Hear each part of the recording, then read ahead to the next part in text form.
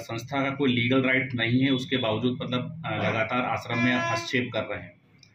ये जितना भी आश्रम है, ये स्वामी जी की आध्यात्मिक भूमि है। यहाँ पर संत मत के आधार पर उत्तराधिकारी उन्होंने मुझे बनाया था तो उत्तराधिकार मेरे पास है। और इसकी सबसे बड़ी ये बात है कि लाखों लोग मुझे मानते हैं। इसके अलावा मेरे पास दूसरे दस्तावेज़ भी हैं, जो ट्रस्ट के, जो दिव्यानंद स्पिरिचुअल फाउंडेशन है, उसमें मैं शेयर होल्डर हूँ।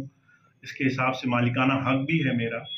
पर ये जो उन्होंने करा है वो पूरी तरह जालसाजी के साथ किया है और उसका न्यायालय में मामला चल रहा है। आरोप है आपके? स्वर्णलता गुप्ता और मनोज गुप्ता स्वामी दिव्यानंद जी महाराज की आश्रम की भूमि पर अवैध कब्जा और उसकी तमाम संपत्ति को खुलेआम वो बेच रहे हैं और ट्रस्ट की आश्रम की संपत्ति को वो नुकसान पहुँचा रहे हैं।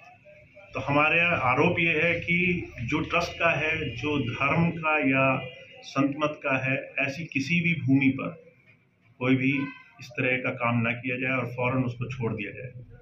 उनका कहना है कि स्वामी जी द्वारा जो ज़मीन उनको दी गई है, किसी वसीयत के द्वारा तो वो उस पर काम करा रही है। स्वामी जी द्वारा उनको जो वसीयत दी गई थी उन्नीस में भी उसके आधार पर स्वामी जी ने एक दूसरी वसीयत की है जो उनकी एक सेविका दया रानी जी की ली थी 2003 में आ, 2013 में।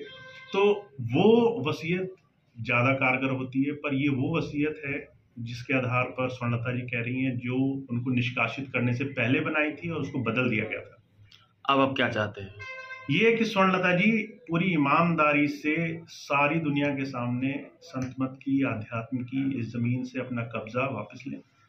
और जो उन्होंने सरेआम अस्सी नब्बे लाख रुपए के पेड़ रातों रात बेचे हैं, उसका फ़ौरन जो है वो धनराशि या तो एस डी एम साहब के या कहीं भी वो जाँच में वो वापस करें और तब तक, जब तक पूरी तरह जाँच नहीं हो जाती न्यायालय से, तब तक वो सही तरीके से वहाँ रहें या काम करें।